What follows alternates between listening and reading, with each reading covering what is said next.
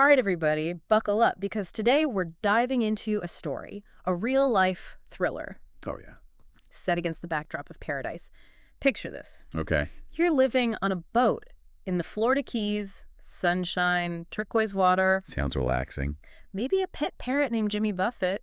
Sounds pretty idyllic, right? It does. Well, that was the life of Edward Bozarth III until it all went very, very wrong. Oh. Because today we're diving into a real life murder mystery set against this backdrop of paradise. Okay. Think swaying palm trees, a hefty inheritance, Right. but hold on to your sun hats because this case has more twists and turns than a hurricane party at a rum distillery. Wow. Um, I've got my mental notepad ready from the articles and case files that you shared. Yes, It seems like the truth is buried deeper than a pirate's treasure. exactly. We're talking about the case that gripped Key Largo back in 2007. Okay.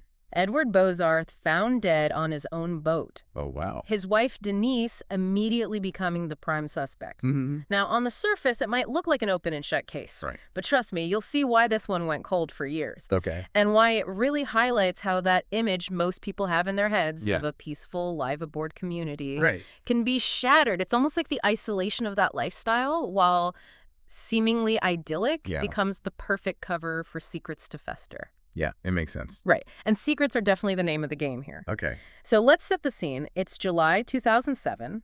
Ed Bozarth is found dead on his boat. Mm-hmm.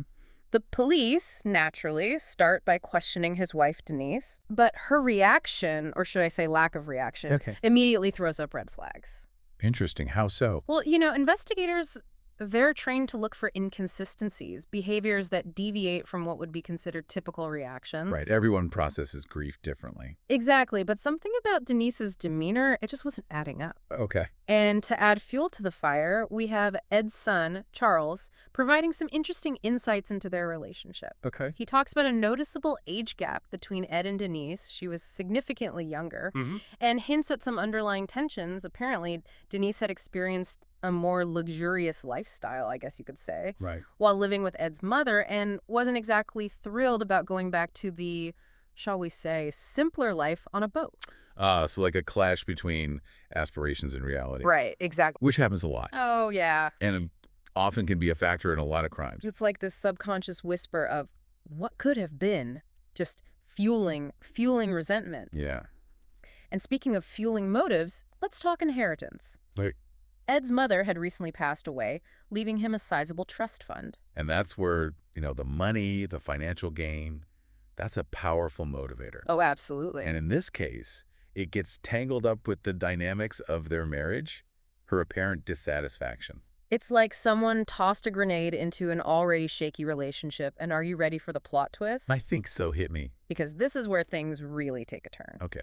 Enter Dave Campbell, Who's that? the Bozarth's neighbor, who just happens to be having an affair with Denise. Oh, wow. Okay. So Oh. another person enters the picture, and what role does he play? Well, that's the million dollar question, isn't it? Right. What's interesting is Campbell's initial narrative to the police is very calculated. Okay. He paints this picture of Ed being abusive towards Denise, even claiming to have seen a black eye on her at one point. So he positions himself as like the concerned friend. Right, the protector. Yeah. But here's the thing the more we dig into Ed and Dave's relationship, yeah. the less concerned friend it seems. Okay. They had a very strained relationship, often butting heads. So you're saying it was not a friendship, at least not a good one. Not really, no. So more like a tragic triangle. Exactly. This underlying tension between these two men, it just adds another layer of intrigue, doesn't it? It does. Was he truly a concerned friend, or was there a more self serving motive behind his portrayal of Ed as an abuser? Was he covering his own tracks? Trying to deflect suspicion? It's possible. Because, get this. Yeah.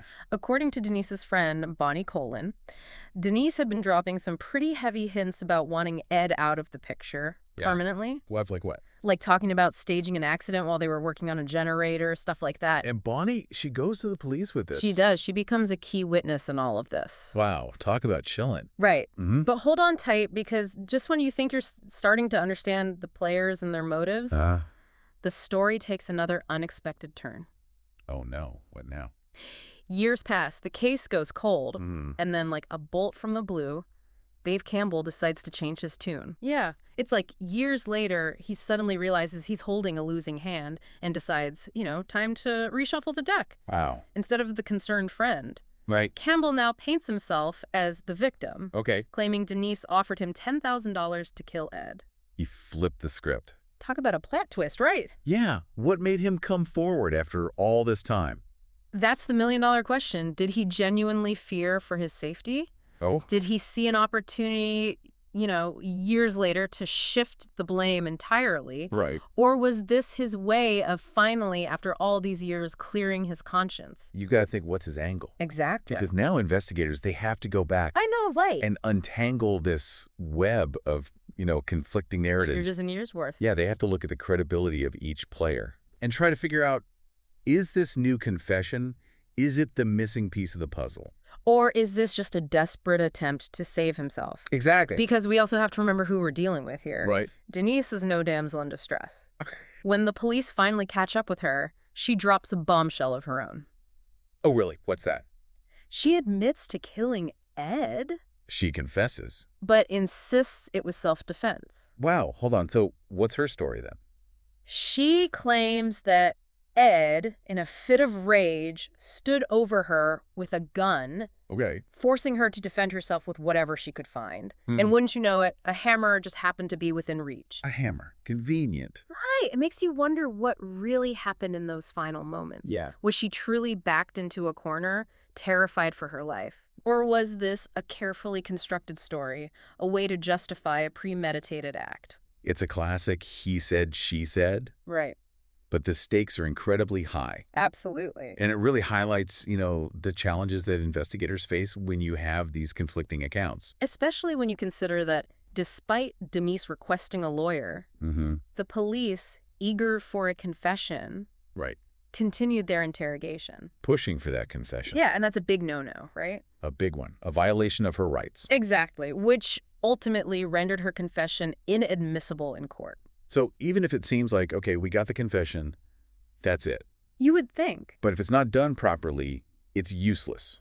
It's like trying to build a sandcastle with the tide coming in. Exactly. So with the confession unusable, the prosecution's case, it's significantly weakened. right. What happens next? Well, Denise, facing a trial with uncertain outcomes, makes a decision, a calculated decision. Yeah. She takes a plea deal, pleads guilty to a lesser charge, Which is? second degree murder. So not quite a slap on the wrist? No, not at all.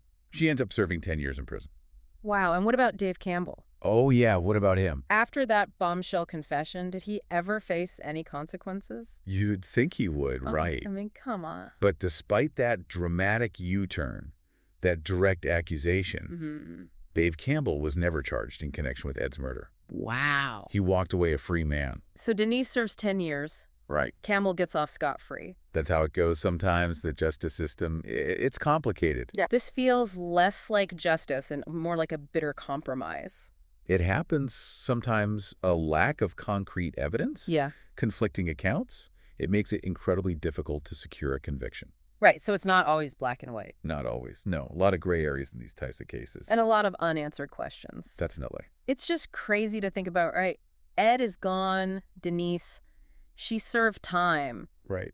but she still maintains she acted in self-defense. Yeah. And yeah. Dave Campbell is out there somewhere living his life. Just goes to show this case, with all its twists and turns, it leaves us with more questions than answers. It really does. You know, did she really orchestrate all of this to get her hands on the inheritance money? Or was she really a battered wife just trying to survive? Driven to that desperate act. Yeah. know? It's like we're trying to piece together this puzzle, Yeah. but half the pieces are missing and the other half have faded with time.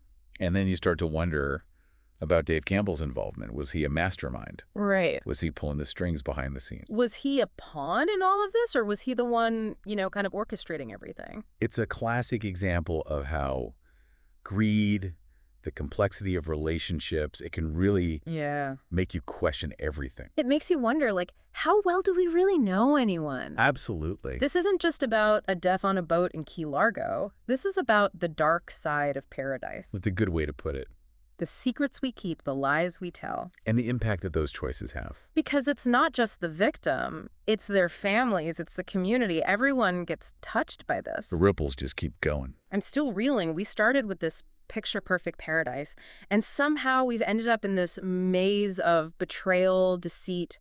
And so many unanswered questions. Like, who can you trust? Even when it seems like you're living in paradise, sometimes it's not what it seems. No? So, to our listeners out there, we leave you with this. Yeah. What do you believe really happened that day on Ed Bozarth's boat? What do you think? Was justice served?